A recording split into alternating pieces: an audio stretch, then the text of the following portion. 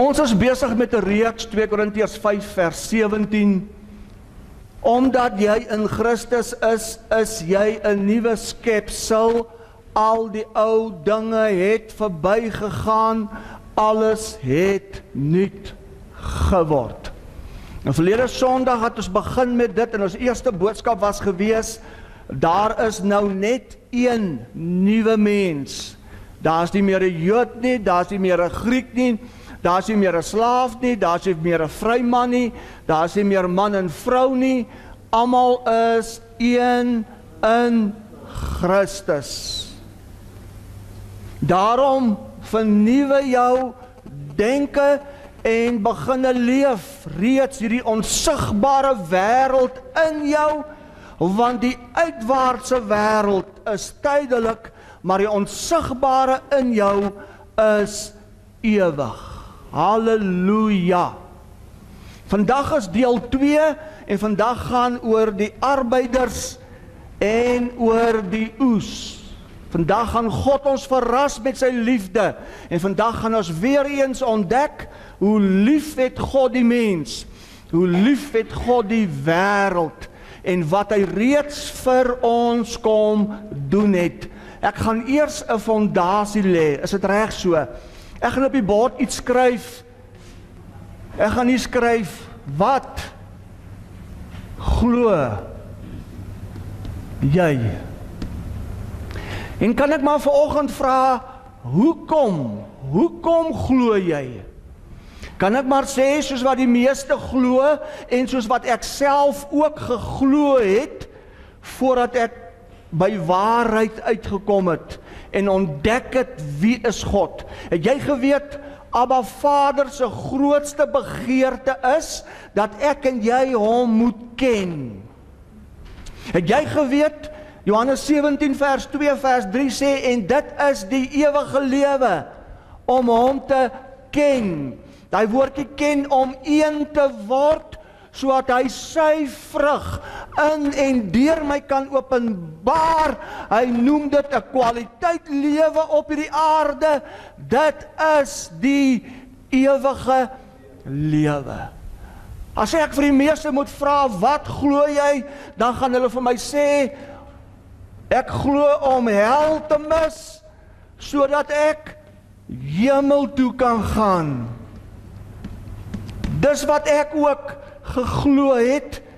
Maar toe ek by lig van die wêreldbediening uitkom en ek het 'n ontmoeting met hierdie lewende God en ek ontdek wie hy is, toe besef ek daar is vir my baie baie meer. Die probleem van om hel te mis en hemel toe te gaan beteken jy moet eers doodgaan. Kan ek maar vanoggend vra En kan ons maar eerlik wees? Wie wil vanoggend hemel toe gaan? Ek bedien in 'n tent. Hulle nooi my om in 'n tent te bedien en hulle sê vir my, ja, "Rudy, pastoor Rudy, wees net jouself." Nou jy sê nie sulke goed vir my nie. Smit, wat kyk jy my so? Hy was nie in die tent nie. En ek begin so. God sê ek moet so begin. Ek moet vir almal vra wie wil hemel toe gaan? Jene, maar almal spring op. En ek vra weer, wie wil hemel toe gaan? En almal juig. Ons gaan juig daar in Kanana. En ek sê vir hulle, maar vir jou om hemel toe te gaan, moet jy doodgaan. Wie wil Wie wil nou doodgaan want ek besit oor die vermoë om jou nou binne 'n minuut in die hemel te kry. Toe wil niemand meer gaan nie. Want niemand wil Het jy geweet, het jy geweet God het geweet geen mens wil doodgaan nie, toe bring hy vir ons 'n verlossing en toe kom smaak hy namens jou jou dood het jy dit geweet het jy geweet die loon die loon van sonde is die dood toe kom word hy jou sonde. Hy kom smaak jou dood. En toe hy die derde dag opstaan, toe kondig hy aan vir jou 'n nuwe begin. Ons het verlede Sondag gehoor, daar's nou een nuwe mens wat saam met hom gekruisig is, wat saam met hom opgewek is, wat nou op 'n op 'n nuwe lewende weg is. En kan ek radikaal wees? Hierdie nuwe lewende weg is nie hemel toe nie. Hierdie nuwe lewende weg is alles wat in die hemel is. Vader, laat U koninkryk kom. Laat U wil geskied, Vader, soos wat nou in die hemel is. Is hierdie nuwe begin, hierdie nuwe mens, hierdie nuwe lewende weg. Nou alles op die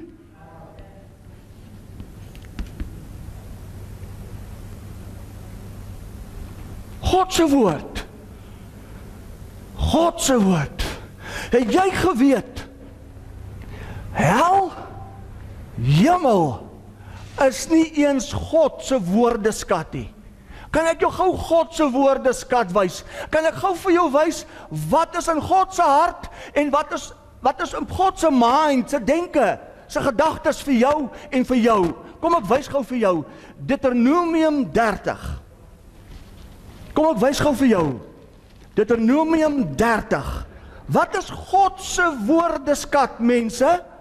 Deuteronomium 30. Kom ek wys gou vir jou. Hoor wat sê hy? Hoor wat sê die Here? Halleluja. Dis lekker om te lewe. Kronie. Dis lekker om te lewe. Sê saam met my. Woew. Dit raak al hoe beter hierso. Tessie wat loer jy my so? Slaap die baba. Daai baba slaap onder salwing. Ek is so bly as die baba slaap, ek begin bekommerd raak as jy slaap. Hoor nou God se woorde skat. Hoor wat sê Deuteronomium 30 vers 19.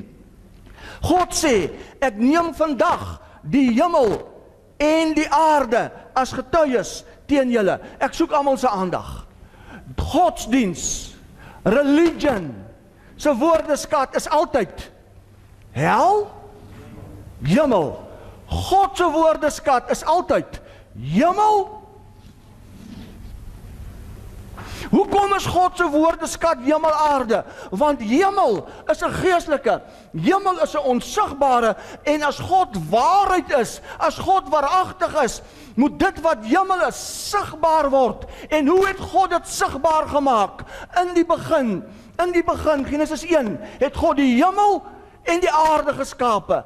Is dit nie ironies nie? Sê gou vir die ou langs jou ironies. Is dit nie ironies nie? God het nie eers hel geskape nie. In die begin het God hemel en aarde geskape want hemel as onsigbare se sigbaar word se manifestasie is aarde en God se sigbaar word God se manifestasie God se manifestasie is jy Hy het nog nooit van opinie verander nie. Genesis 1:26 Laat ons mense maak na ons beeld, na ons gelykenis, laat hulle heers, laat hulle vrugbaar wees, laat hulle vermeerder, laat hulle vul die aarde want alles was baie goed. Toe kom die mens, hy bring 'n sondeval in, hy bring die dood in, die mens begin doodgaan en die mens wat doodgaan word bewaar in die doderyk. Sjoe, onthou julle ons preke, toe kom die vertalers met 'n verwarring en hulle noem dit hel. Het jy geweet die woord hel is afgelei van die woord helmit, plek van bewaring? Het jy geweet in die ou tyd het hulle aardappels gehel. Hulle het aardappels toegemaak in 'n donker plek in bewaring gehou. Het jy geweet hulle het hulle huise se dakke gehel deur die dakke toe te maak vir beskerming as daar reën en haal is. Met ander woorde, van die begin af het God nog nooit van opinie verander nie en hierdie mens was bewaar, maar toe hy 'n verlossing bring, ek herhaal net so bietjie terug, toe hy 'n verlossing bring en hy sterf, toe gaan almal se grafte oop en hy bring vir hulle die goeie nuus. Maar die hulle vir wie hy die goeie nuus bring, was reeds hulle wat ongehoorsaam was. En toe hy opstaan, toe staan nie net jy saam met hom op nie. Toe staan die hulle ook saam met hom op en God vat hulle weer in 'n plek van bewaring soos ons praat van hemel en God noem dit verlede Sondag in Christus. Maar God het nie net vir jou in Christus nie. God het nie net vir hulle in Christus nie. Efesiërs 1 vers 10 sê, toe die volheid van tyd kom, het God alle dinge wat in die hemele is, alle dinge wat op die aarde is, luister kerk, alle dinge wat in die doderyk was, weer onder een hoof in Christus geplaas want God het besluit elke knie in die hemel elke knie op die aarde elke knie onder die aarde in die doderyk sal verklaar. God is goed. God is liefde. En wat kom doen hy? Dit wat Adam en Eva weggegee het sê nou maar so kom bring hy verlossing. Dit in die week bel iemand my. Hy sê hy het dit nog nooit so ingesien nie. Wie die DVD'tjie gekyk wat ek gedeel het op ons groepe. Het jy geweet jy kan jouself nie regverdig nie al wil jy ook. Want jy het jouself nie veroordeel nie. Adam het jou veroordeel. En omdat Adam jou hier veroordeel het, En omdat God jou liefhet, kom word hy die laaste Adam en hy kom regverdig jou en hy gee dit vir jou as 'n geskenk. Daarom is my vraag vanoggend: Wat glo jy? Hoor nou wat sê hy in Deuteronomium. Mense, jy hoor goeie nuus vanoggend. Hoor nou wat sê in Deuteronomium. Hoor wat is God se woordeskat? Hoor nou God se woordeskat. Ek neem Deuteronomium 30 vers 19. Ek neem vandag die hemel en die aarde as getuies teen julle, die lewe en die dood. Die seën en die vloek het ek jou voorgehou. Kies dan hemel. Wat staan daar? Kies dan lewe dat jy kan lewe, jy en jou nageslag. Die die Here jou God lief te hê. Onthou julle is Ou Testament voor die kruis. Die die Here jou God lief te hê, na sy stem te luister, hom aan te hang, sê hom aan te hang. Want dit is jou lewe. En die lengte van jou dae, sodat jy kan woon in die land wat die Here jou God aan jou vaders Abraham, Isak en Jakob met 'n eed beloof het om aan hulle te gee. Kyk gou wat sê Esegiel 18 oor dit. Ek wil net vir jou wys wat is God se woordeskat? Wat is God se opinie? Wat is God se idee van hierdie goeie nuus evangelie? Kyk gou wat sê Esegiel, is net 'n fondasietjie wat ek lê. Kyk wat sê Esegiel 18. Hoor nou wat sê God in Esegiel 18. Mense is groot. Dis wonderlik. Weet jy hoekom is dit lekker om te lewe? Want ek manifesteer Abba Vader se hart se begeerte. Woe! Kyk gou wat sê Jesegiel 18 vers 30. Vers 31: Werp al julle oortredinge waar julle oortree het van julle af weg. Maak vir julle 'n nuwe hart en 'n nuwe gees. Toe besluit God in Jesegiel 36, hy kom omdat hy vir jou lief is en hy gee vir jou 'n nuwe hart en 'n nuwe gees. Hoe's daai vir jou? Wow! Want waarom? Luister mooi. Want waarom wil jy sterwe? o huis van Israel? Want luister wat sê God, want ek het geen beha in die dood van hom wat sterwe nie, spreek die Here. Bekeer julle dan en lewe. Wat glo jy? Het jy geweet Johannes 3 vers 16 nog en ek baie radikaal wees? Kan ek maar kan ek maar skriftuurlik eerlik en korrek wees vanoggend? Jy geweet Johannes 3 vers 16 sê so lief. Kyk op die bord. So lief het God die wêreld. Daai woordjie wêreld, kosmos. Kosmos, die skepping, die heelal en elke mens daarop. So lief het God die wêreld gehad. Sodat elkeen wat nou glo nie sê saam met my nie verlore. Die Engelse woord vir verlore is perish. As jy gaan Google perish beteken dit om nie dood te gaan nie om nie te vergaan nie. So lief het God die wêreld gehad sodat elkeen wat nou glo nie dood hoef te gaan nie maar weer vir ewig kan want hy het nie gekom. Hy het nie gekom om te oordeel nie. Want Adam het jou reeds veroordeel. Toe kom regverdigheid jou verlede sonde se boodskap.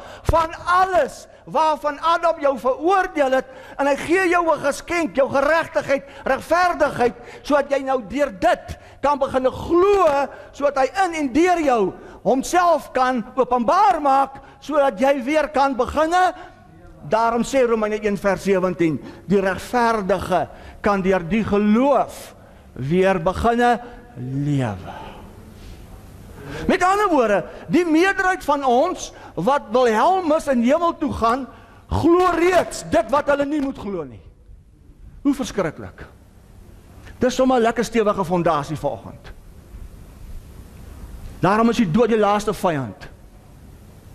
En God se liefde vir die mense is so groot dat God besluit het Romeine 14 vers 9 het God besluit vir hierdie doel is hy gekruisig vir hierdie doel het hy opgestaan om nou oor die dode en die lewende te heers. So elke mens wat nou nog ontslaap omdat die liggaam omdat die kerk ons as liggaam nog wandel as vyande van die kruis en nie weet wie en wat as God nie het God besluit voor die kruis het hy die mens in bewaring gehou doderyk nou sal die mens nog ontslaap en die mens bly in bewaring in Christus soos wat ons sê, jy gaan hemel toe. Maar nou is my vraag, hoe hoe gaan jy hemel toe as hy jou reeds lewend gemaak het, saam met hom opgewek en jy sit reeds saam met hom in hemelse plekke? Hoe? Daarom, daarom is ek en jy die koneksie tussen hemel en aarde en hy het sy volheid in jou geplaas.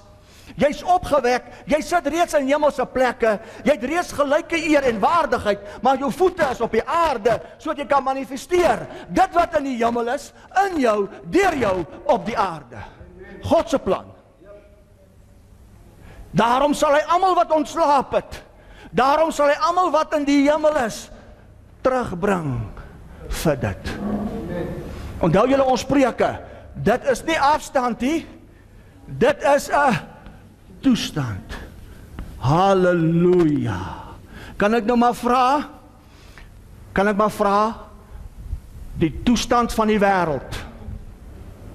Die toestand van jou finansies, die toestand van jou huwelik. Beïnvloed daardie toestand jou of is jy die toestand wat 'n siek wêreld, wat 'n gebroke wêreld beïnvloed met wie en wat hy is? Want immers is ons in hierdie wêreld. Maar ons is eintlik nie van hierdie wêreld nie. Ons is mos uit God gebore. Immers is jy nie op pad nie. Jy's eintlik vanuit born from above. Yes, jy gooi 'n Engelse woord. Dis net 'n fondasie. Vandag se boodskap, kom ons begin. Johannes 4. Johannes 4. Here, dis lekker om te lewe. Is fantasties. Is wonderlik. God is waaragtig, my vriend. Rudy, Rudy, hoe kry jy dit reg om so te leef? Ek kry dit nie reg nie. Die woord saad wat vrug word in my kry dit reg.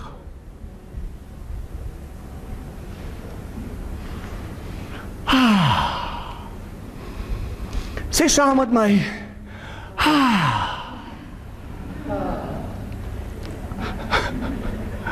Dries Hoe klink dit? Kos begin. Kan ek gou 'n slukkie water vat?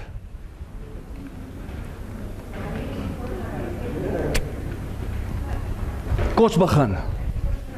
Vandag se boodskap oor die oes en die arbeiders. Ja, verslag kom hy braai tang ook terug omdat my swanger dogter verslag in die kerk is. Is 'n grappie. Kos begin. Vandag se boodskap gaan oor die oes en die arbeiders. Wie het al gehoor die arbeiders is min en die oes moet ingebring word? Kan ek gou vir julle goeie nuus bring? Kan ek gou vir julle goeie nuus bring?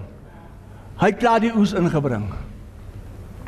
Alle dinge wat in die hemel is, alle dinge wat op die aarde is, is reeds in die skuur. Wat is die skuur? In Christus. Kos begin, kos bevestig dit. Ek gaan volgens vir jou wys hoe wonderlik is God, hoe fantasties is God en hoe lief het hy vir jou. Is dit reg? Kos begin Johannes 4 vers 34. Vers 31. Johannes 4:31. Die oes en die arbeiders is die hoofopskrif in my Bybel. Die oes en die arbeiders. Johannes 4 vers 31. En intussen het sy disippels by hom aangedring en gesê: "Rabbi, eet." Maar hy sê vir hulle: "Ek het voedsel om te eet waar julle nie van weet nie." Die disippels sê toe vir mekaar: "Het iemand dan vir hom Kentucky gebring?" Jesus sê vir hulle: "My voedsel is om die wil te doen van hom wat my gestuur het en om sy werk te volbring. Waar is sy werk volbring? Dit is vol bring. God se werk is volbring en nou rus God en nou bly daar vir my en vir jou dieselfde Sabbatsrus oor om te rus. 'n Manifestasie soos dit was in die begin op die sewende dag het hy gerus en hy dit geseën.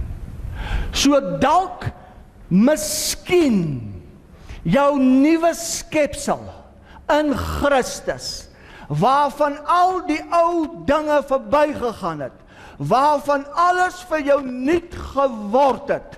Dalk miskien is daar vir jou nou 'n dimensie ten spyte van ten koste van 'n gebroke, gejaagde, stikkende wêreld, is daar vir my en vir jou 'n plek, 'n leefwyse van Woe! Wat 'n voorreg. Hoor wat sê hy verder? Hoor wat sê hy verder? Sê julle nie vers 35. Sê julle nie, dit is nog 4 maande dan kom die oes nie. Hoor wat sê hy nou? Kyk, ek sê vir julle, slaan julle oë op en aanskou dat hulle al die lande al wit is vir die oes. Ek soek gou jou aandag. Met ander woorde, dis net so voor die kruis Jesus in gesprek. Hy sê vir hulle, Die disippels sien julle, sê julle nie, dis nog 4 maande nie. Kom ek sê vir julle, die lande, die wêreld is alreeds wit van die oes. Ooh, wat se oes? Kom ons bietjie verder. Vers 36. En hy wat maai ontvang loon en vergader vrug vir die hemel. Wat staan daar? Vergader vrug vir die ewige lewe. Kom ons verder. Sodat die saaier en die maaier saam bly kan word. Vers 37 is belangrik, want hierin is die woord waar. Dit is een. Sê saam met my, dit is een. Dit is een wat saai en 'n ander wat maai. Hoeveel hoe, hoeveel het gesaai? 1. Dis een wat saai. En raai na wie het Jesus verwys? En raai van wie het hy gepraat? Van homself. Van homself. Want Johannes 12:24 sê: As die koringkorrel Jesus Christus nie in die grond val en sterf nie, bly hy alleen. Maar as hy in die grond val en sterf, is daar baie vrag. Ooh, Here, jy moet ons help om te verstaan. Jy moet ons help om te verstaan. So van wie het hy eintlik gepraat? Van homself. Kom ons kyk gou maar daarna. Johannes 12. Hoor wat sê Johannes 12. Kom ons kyk gou daarna. Hoor wat sê Johannes 12. Kom ons kyk gou daarna. Jy's nie in die prentjie nie, my vriend. Sê vir my, die wet, die psalms en profete het oor wie gegaan? Dit het alles oor Jesus Christus gegaan. Wie het die wet, die psalms en profete in vervulling gebring? Jesus Christus. Kyk vir my en nie die 7 uur nuus nie. En nie gerugte van oorlog nie. En nie Donald Trump nie. En nie Irak of Israel nie. Jesus Christus. Een wat saai. Kyk wat sê Johannes 12:24. Vir waar voor waar ek sê vir julle as die koringkorrel nie in die grond val en sterf nie, bly dit alleen. Maar as dit sterf, dra dit veel vrug. Met ander woorde, kom ons maak so. Hierdie lewe is 'n vrug. Maar vir vrug moet daar eers saad in die grond val. En die grondsaad, korrel, is Jesus Christus. Maar sê vir my, het jy saam met hom gesterf? Sê vir my, is jy saam met hom opgewek? Sê vir my, wat bly nou vir jou oor?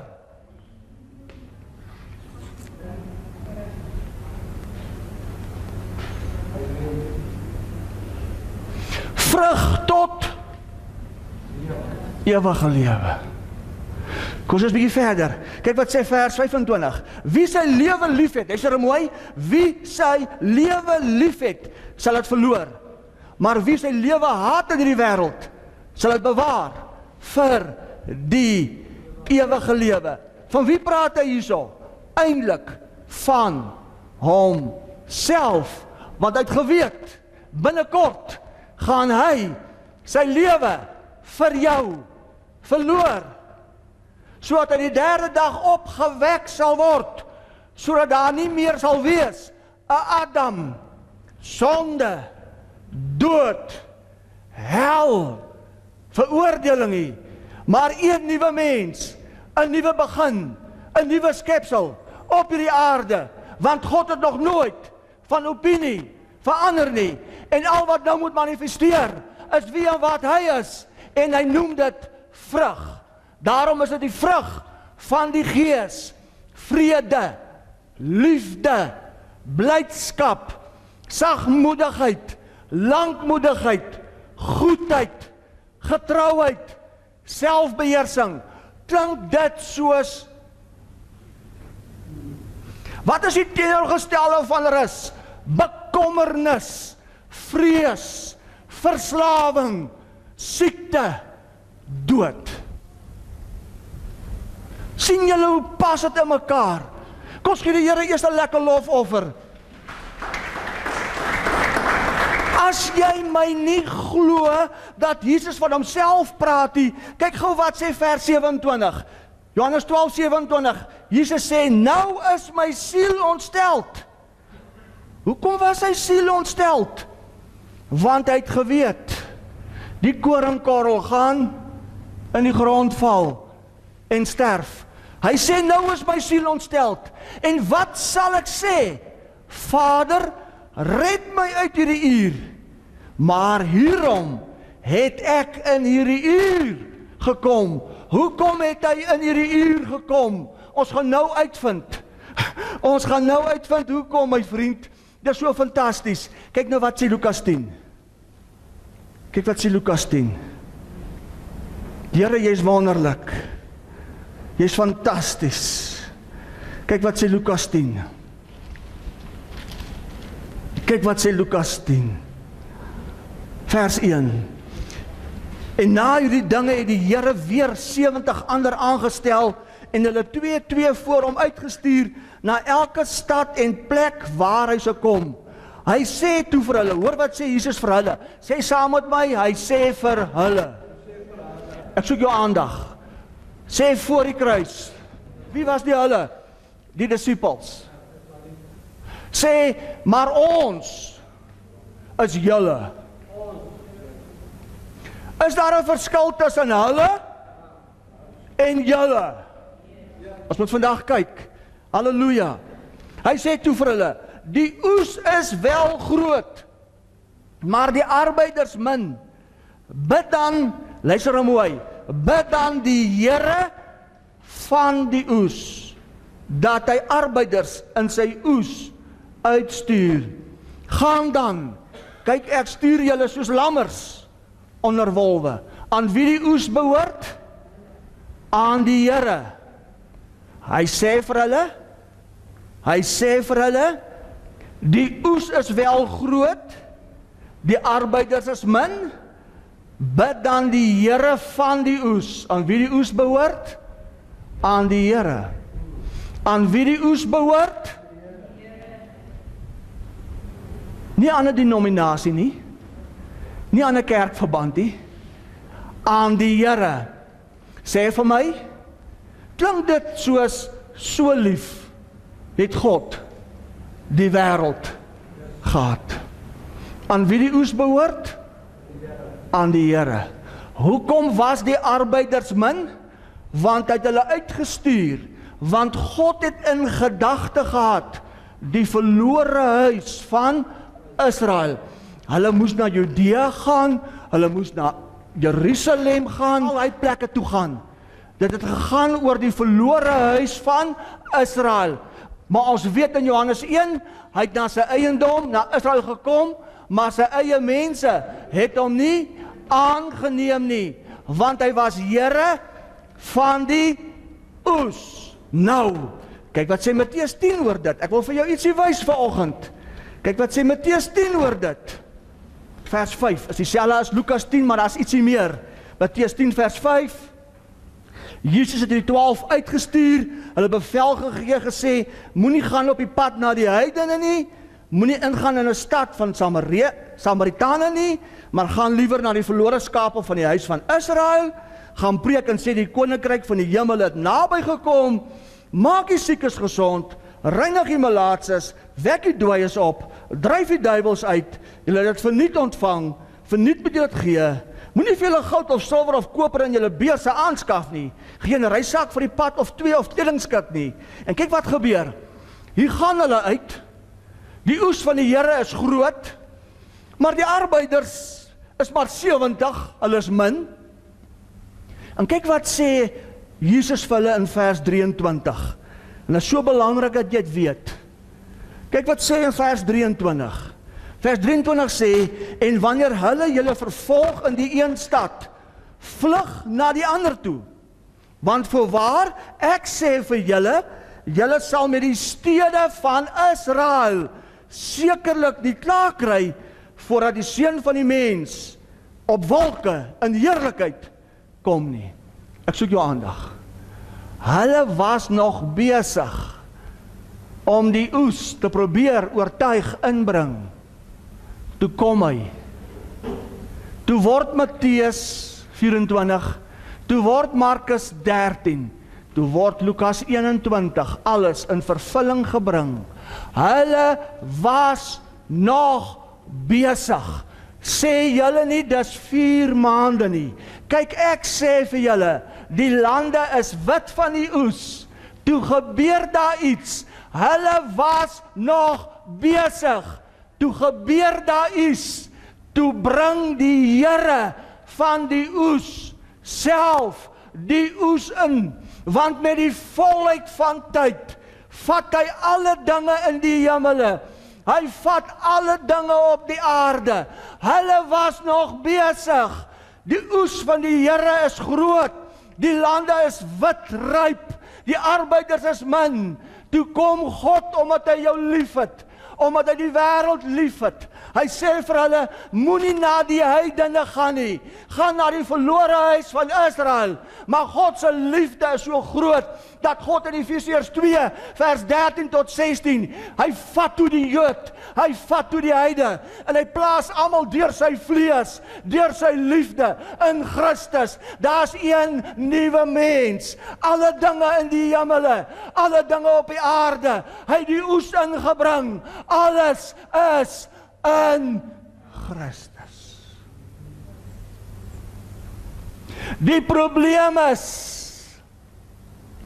die oes die kerk die mens weet dit nie hy probeer hier in sy eie vermoë sy eie wilskrag Ek moenie, ek moet ek moenie. Wow, ek het so goed gevaar. Wow, ag nee, ek het alweer die hond geskop. Ag nee, ek sit alweer met veroordeling. Ag nee, Here, asseblief, laat ek net die hel toe gaan, die Here. As ek hel mis en ek kan hemel toe gaan en jy leef en jy sukkel en jou lewe val mekaar uit vir 'n dag wat jy moet doodgaan en as die dokter vir jou sê jy het kanker, dan wil jy nie doodgaan nie. Dan moet almal vir jou bid, maar as jy net kan hemel toe gaan terwyl jy reeds daar sit saam met hom in hemelse plekke terwyl jy reeds in Christus is. Hy het alles vir jou kom doen. Jy moet in jou hart oortuig word sodat dit kan manifesteer die resultaat in en deur jou.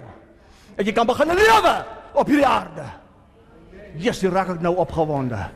Gee die Here lofoffer.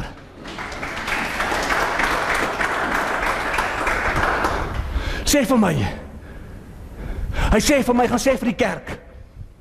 NB Die arbeiders van vandag is nie min nie. Die arbeiders van vandag is nie besig met die waarheid nie. Dan sê dit vir die kerk. Jy is nie besig met die waarheid nie. Want ons dink as Dirk nie sy hart vir die Here gee nie, is Dirk op pad hel toe. Terwyl dit nie eens God se woordeskat is nie, terwyl God klaar vir Dirk ingebring het. Dirk is in Christus. Ek moet vir Dirk gaan vertel wat is hierdie goeie nuus, want God het hom klaar met Dirk versoen. Die oes van die Here is Dirk. Hy's ingebring. Dirk moet hom net met God versoen sodat Dirk kan oortuig word en deur sy geloof weer beginne lewe en dis op die aarde. En as Dirk dalk sou ontslaap, ontslaap hy in Christus Christus, dan sal die Here van die oes seker maak Dirk sal dit beleef. Maar jy sal 'n geslag wees wat jy sal nodig hê om dood te gaan. Hy het klaar die oes ingebring. Ja. Omdat hy vir jou lief is. Halleluja. Halleluja. Hoe het hy die oes ingebring? Kyk wat sê 2 Korintiërs 5. Jessie, vergewe vir my as ek opgewonde raak, maar dis 'n fantastiese goeie nuus. Ek kan nie inhou nie. Ek kan nie inhou nie. Sê vir, sê vir ek kan nie inhou nie. Want dis in my 'n fontein wat opspring. Hy spring op tot wat? Die ewige lewe. Wow. Kyk wat sê 2 Korintiërs 5. As dit lekker, as jy saam met wie, wie saam met my bly. Ek wil nie so alleen voel hier voor nie. Lag. Steek tong uit, doen net iets. 2 Korintiërs. Nou smile Tessie dan maak vir 'n slag. Kyk hoe dit die oes ingebring. Kyk wat sê 2 Korintiërs 5 mense. Weet jy wat? Hoor gou vir my. As jy vir daai persoon wat moedeloos is, wat wil tou opgooi. As jy vir hy persoon hierdie goeie nuus kan vertel wat God reeds vir hom gedoen het, hoe God oor hom voel, hoe lief God hom het, dat daai persoon net kan oortuig word van hierdie goeie nuus, dan word waar God is lankmoedig. God wil deur sy goedheid en sy liefde jou oortuig sodat jy jou denke vernuwe. Alle druk is van almal af. Jy moet oortuig word. Wat? Kom ek verduidelik vir julle hoe werk dit. Kom ons sê hier's 'n politieke party in Suid-Afrika en Piet Pompies, hier's nie Piet Pompies hierdie. Niemand sal aanstoot neem nie. En Piet Pompies is die leier. Maar Piet Pompies is hy maak droog. Hy wil als vernietig. Hy wil Suid-Afrika in die grond intrap. En jy hoor, jy hoor soos vanoggend, jy hoor van Piet Pompies. En jy raak bewus en jy word in jou hart oortuig van Piet Pompies. Piet Pompies gaan Suid-Afrika verwoes. Raai wat het gebeur toe jy oortuig word? Toe het Piet Pompies geboorte geskenk as Piet Pompies in jou en jy leef eintlik Piet Pompie se emosies. Jy leef Piet Pompie se vrees. Want as jy sien iets is verkeerd, is jou denke vernuwe. Al wat jy dink is Piet Pompies. God wil vanoggend dieselfde kom doen met sy goeie nuus sodat jy kan oortuig word sodat God kan geboorte skenk wie en wat hy is, sodat hy kan besit neem van jou emosies, jou sielmens. En as 'n situasie verkeerd raak, verkeerd is of wat ook al, al wat jy kan dink is wie en wat God is. Dit word vrug genoem en daai vrug bring lewe. Dit word rus genoem. Die res is dooie werke, dood, wilskrag. Adam Hierdie word genoem Christus in jou. Dat jy kan lewe. Gee die Here eers 'n lekker lofoffer. Kyk nou wat sê 2 Korintiërs 5 vanaf vers 15. Vers 14. Want die liefde vers 13. Ekskuus. Kyk wat sê kyk wat sê vers 13. Kan ek 'n slukkie water vat? Ek is net ek is net ek is net versigtig. Hoop nie ek hoop nie die Heilige Gees het nou hierdie water gedous nie. Want ek is op 'n lekker plek. Ek is nogal op 'n lekker plek. Het jy geweet? Kyk wat sê vers 13. 2 Korintiërs 5 vers 13 sê, want as ons uitsinnig is, is dit tot eer van God. As ons by ons verstand is, is dit om julle ontwil. Het jy geweet die Griekse woord vir uitsinnig is ecstasy? Wat is ecstasy? Is 'n draak.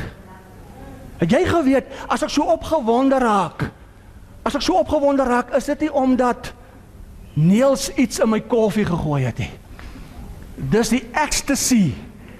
Dis die liefde van God wat my op 'n high sit. Dis wat dit beteken. Moet ek ek gaan 'n slukkie vat.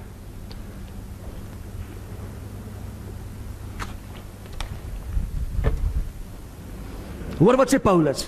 Want as ek uitsinnig is, is dit tot eer van God. As ek by my verstand is, is dit om julle ontwil, want die liefde van Christus dring my. Wat dring my? Die liefde van Christus, omdat ons van oordeel is dat as een vir almal, wie is almal? Wie is almal? As een vir almal gesterf het, het almal gesterf. Hy het vir almal gesterwe sodat die wat nou lewe nie meer vir hulself moet lewe nie, maar vir hom wat vir hulle gesterf het en opgewek is. Ons ken dus van nou af niemand meer na die vlees nie. Al het ons ook Christus na die vlees geken, nou ken ons hom tog nie meer so nie. Daarom as iemand nou in Christus is, is hy 'n nuwe skepsel. Die ou dinge het verbygegaan.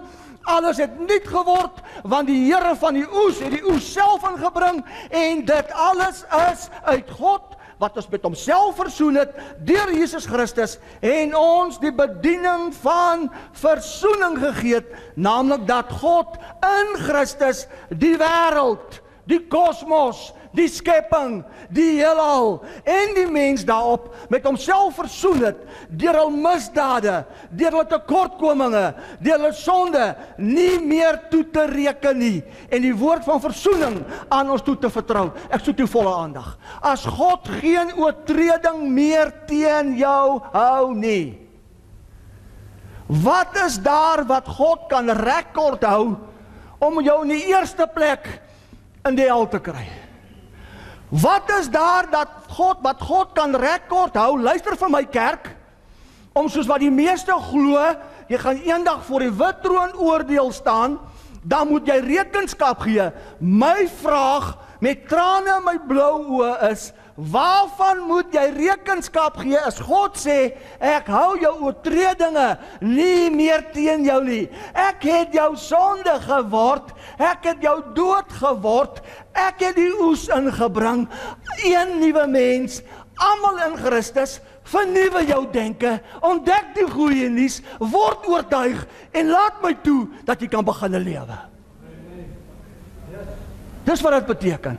So aan ander woorde, my opdrag nou is om vir die oes wat klaar ingebring is, die goeie nuus te vertel dat hy so oortuig word en sê, "Ja, Here, ek versoen."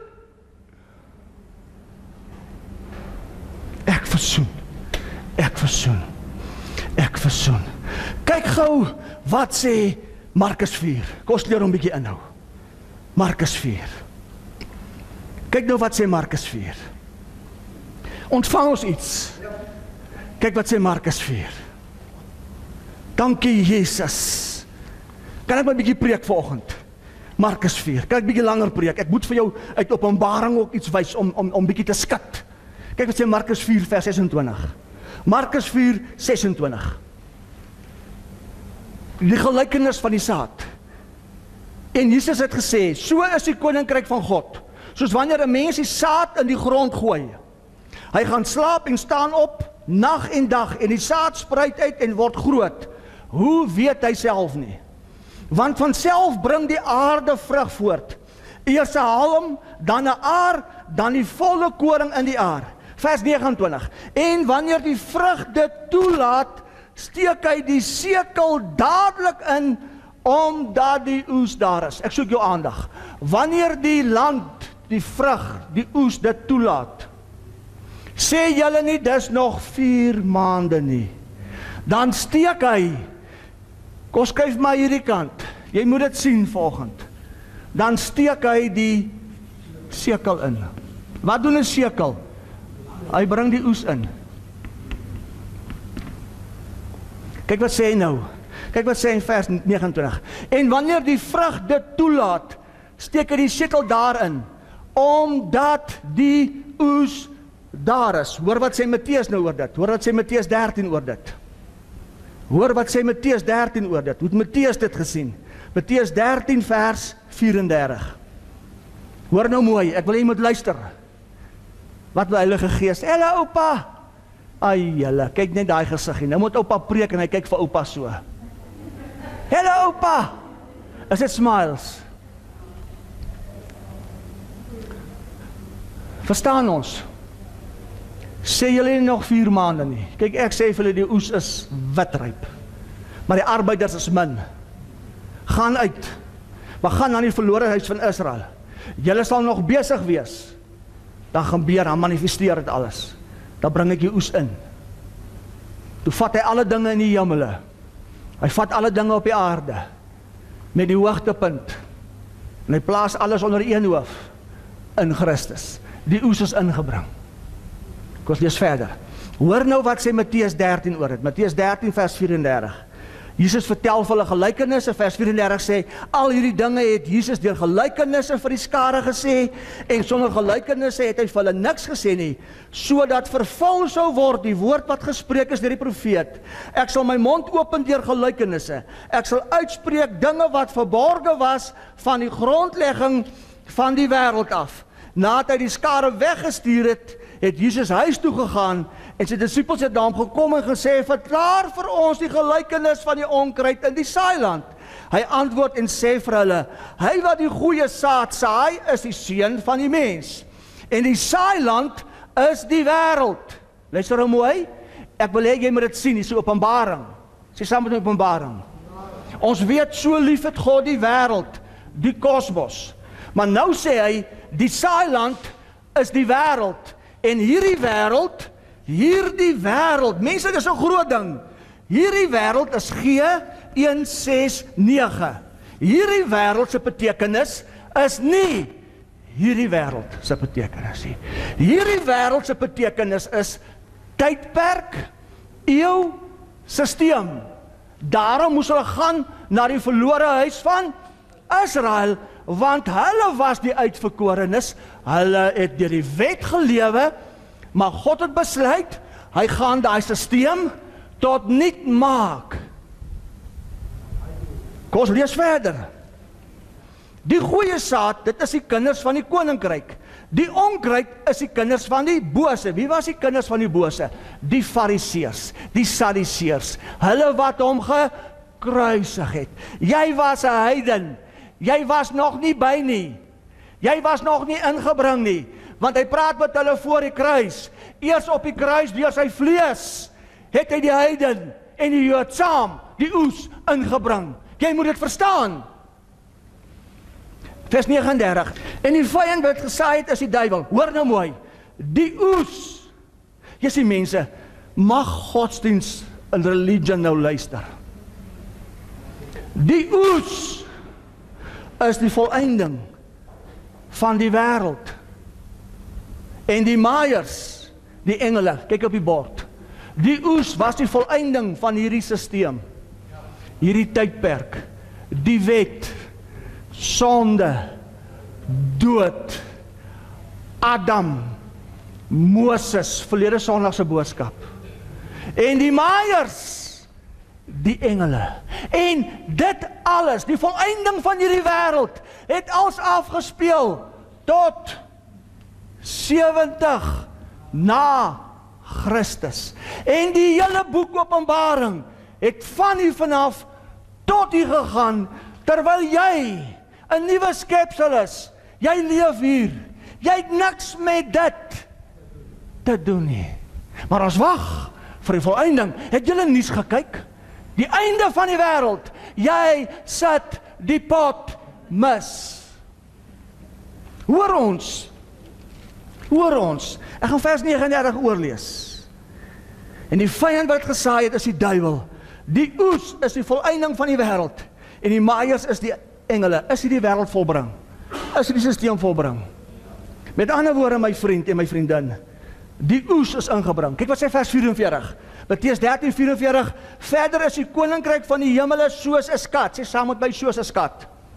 Wat verborge is in die saailand wat 'n man kry en wegsteek en dit blyskap daaroor gaan en verkoop alles wat hy het en hy koop die saailand. Ek soek jou aandag. God sê 'n gelykenis. Sy koninkryk is soos 'n skat in 'n saailand. Maar die saailand is die wêreld. Maar hierdie man is so verlief, so begeerte oor hierdie skat dat hy die saailand dat hy die wêreld koop. So lief het God die wêreld dat hy vir jou as die skat die wêreld as die skat koop deur sy eie seun as saadkorrel te gee jou tekortkominge die wêreld se tekortkominge die wêreld se sonde die wêreld se dood die wêreld se alles kom word sodat hy net daai skat wat jy is wat in jou is wat jou buurman is, wat hy wat voor jou ry is, kan inkry. So lief het God die wêreld, die saailand, dat hy sy enige gebore seun gegee het, sodat elkeen wat dit nou glo, nie meer nie meer maar weer kan Kom ek wys dit gou vir jou. Kyk gou wat sê 2 Korintiërs 4 oor hierdie skat. Ek moet dit vir jou wys. Kyk wat sê 2 Korintiërs 4. Kan ek die boodskap klaar preek al maak ek kom deel 2. Jy moet als hoor. Kyk nou wat sê 2 Korintiërs 4 oor hierdie skat. 2 Korintiërs 4 vers 7 sê, "Maar ons het hierdie skat in aardekryke, sodat die voortreffelikheid van die krag van God mag wees en nie uit onsself nie." Waar is die koninkryk van God? Waar is die volheid? 1 Korintiërs 6 vers 19 sê, "Weet julle dan nie dat julle liggame die tempel van God is. Dan sê vers 20. Dan sê vers 20 want julle is duur gekoop. Verheerlik God dan in julle liggame. Is dit nie mooi nie? Is dit nie mooi nie? is dit nie mooi nie. Ek wou uit Openbaring dit ook gebring het. Ek gaan vir jou dit sê. Openbaring 14 kan jy gaan lees vanaf vers 14 tot 20 en Openbaring 15 vers 1. Het dit alles wat jy nou hoor presies afgespeel dis verlede tyd. Terwyl die meeste wag vir dit. Ons tyd raak te min. Ek sluit af. Wat beteken vrug? Vrug is die resultaat of produk van 'n sekere aksie of optrede. Die karakter van die vrug is die bewys of resultaat van krag daaragter wat dit geproduseer het en dit word God se akapai liefde genoem. Want dit is sy vrug in jou. As die onsigbare Heilige Gees krag in jou werk as Christus in jou die onverganklike woordsaad is die karakter van daardie onsigbare krag die vrug van wie en wat God is. Daarom sê Galasiërs 5:22 die vrug van dit is nou vrede, is liefde, is sagmoedigheid, lankmoedigheid en daarom sê die woord van, van God as jy deur hierdie gees, deur hierdie vrug gelei word, is jy nie meer onder die wet nie. Daarom sê Romeine 8 vers 13, as jy nou deur die gees, die oortuiging van jou hart wat jy hoor in hierdie bediening toelaat dat hy die werke van die liggaam doodmaak, sal jy bly Ek is so spyt ek kan Openbaring nou vir jou gewys het nie. Ons tyd is te min. Sê goeie nuus. Dat is al verantwoordelikheid wat ons het, wat die pastore het, jy het, is om die oes te gaan oortuig deur te vertel sodat hulle ook kan versoen. Halleluja! die u zal staan gebracht. Amen. Geef de Heer nog geloof over.